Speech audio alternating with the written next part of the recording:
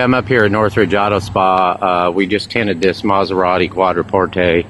It has a uh, extremely light ceramic film on the windshield and the Panaflex 40% ceramic on the side windows in the back. Uh, absolutely beautiful. Uh, one of the world's best films made 70% heat reduction, uh, optimal clarity. You just can't beat it. Uh, come by and see us, Northridge Auto Spa. Thank you.